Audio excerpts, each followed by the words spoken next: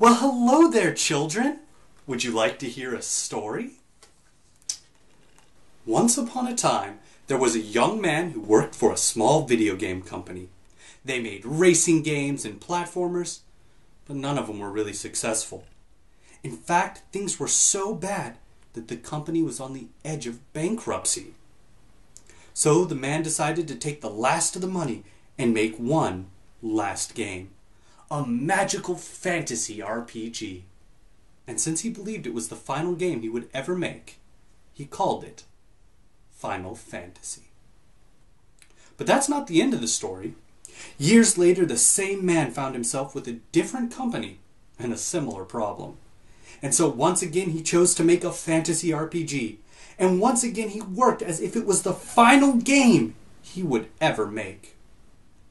And that, children, is how he made the last story. The last story follows Elza, an orphan mercenary who is haunted by the slaughter of his family and dreams of one day becoming a knight. On the other side of the story is Kanan, a sheltered noble betrothed to a man she doesn't love and dreaming of a world outside the castle. Together with Elza's fellow mercenaries, they try to protect their small island kingdom from invading Gurg forces. Oh, and there's also the little question of why Elza holds the power of God in his hand, which makes for a pretty good driving mystery. But all in all, the plot is neither revolutionary nor is it overly epic. Yet, in a world where every RPG is about saving the world, a more local, believable story is a breath of fresh air. Oh, sure, all the JRPG cliches are there prison escapes, ghost ships, sewer romps, and even a love story, but there are reasons these things became cliche in the first place. If they're done well, like they are in the last story, they're very entertaining.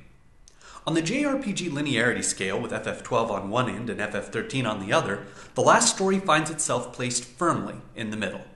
Every couple of hours, you return to the hub island from which you can do a myriad of side quests or revisit previous areas, but large portions of the story are spent fighting through long series of dungeons. So it's no surprise that as soon as you press the start button, you're treated to the standout feature of the last story the battle system. Gone is any semblance of turn based gameplay. Instead, there is a new system formed around fast paced melee combat and explosive magic. Basic combat is simple. When you enter attack range, all you need to do is point the thumbstick at the enemy you want to attack. This allows you to fight groups of enemies with perfect precision. Like in Final Fantasy XII, arcing threads point from enemies to their targets, but unlike FF12, combat is based around Elza's special ability to gather all the enemy threads to himself. From there, you can take the role of a tank and absorb damage, or kite them using obstacles and cover to your advantage. In the meantime, up to six AI companions will be attacking or casting elemental circles, which, when combined with Elza's own special attacks, cause massive damage and a myriad of status effects. For those who want a bit more control, with a full magic bar, you can enter the command mode and individually choose targets and attacks. But as the AI is relatively competent, this is only needed in battles where specific spells must be used, or when you want to activate one of your AI character's limit break attacks. Most of the bosses are puzzles that require the use of one of Elza's special attacks to defeat them, and with one exception, I'm looking at you, giant squid, are easy enough once you figure out the trick. Oddly for a JRPG, there's a heavily featured first person view, which is used as both a storytelling technique and as a battle feature. Also on the strange but welcome side, the last story sports two small multiplayer modes Versus, a 3 on 3 deathmatch, and Raid, a 6 person co op boss attack. Another highlight is the amount of customization in the last story. Not only can you choose the party's weapons and armor, but you can customize how they look. As you upgrade items, their forms will evolve to reflect their changing power, and best of all, as all the cinematics are rendered in game, Elza and his friends will always have the same equipment in both cutscenes and battle. In general, the graphics are stunning regardless of whether it's a cutscene, a view of any of the diverse dungeons, or the explosive mix of magical effects mid battle.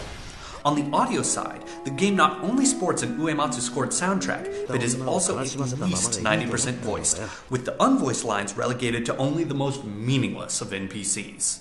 In the end, everything from battle animations and scenic landscapes to the voice acting and soundtrack carry a level of polish rarely seen in the world of HD gaming. Which is why it's even more surprising that the last story is exclusive to the only SD home console of this generation the Wii. But regardless of the console wars, this is not a game any RPG fan should pass up. While the plot is decent, it is the battle system that strives to single handedly revolutionize how JRPGs are played. Now, while there are currently no plans regarding the last story's Western release, I wouldn't rush into the headache of importing a Wii quite yet. With over 150,000 copies sold in the first five days alone, and the amount of coverage it's been getting from the Western press, I'm betting it'll see foreign shores within the coming year. Anyway, I'm Richard Eisenbeis for GameZone.com. Peace out.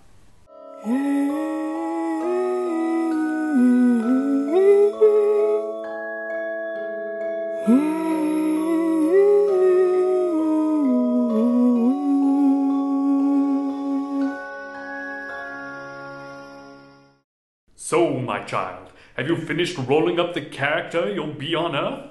Yep, I just finished allocating my final skill point.